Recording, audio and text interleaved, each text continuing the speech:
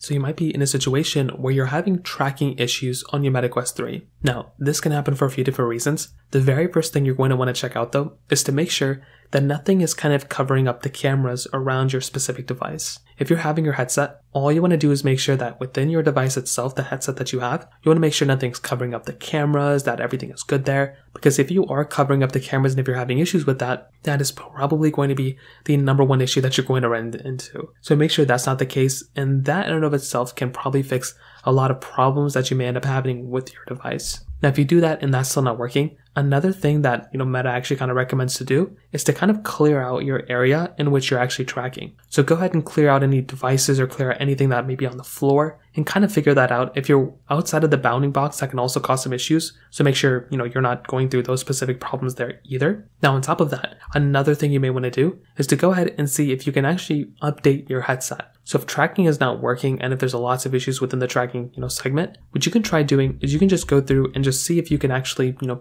update your software. For a lot of problems that I normally typically have with my devices, if I literally just go through and if I just, you know, update the software, that can potentially end up fixing the problem.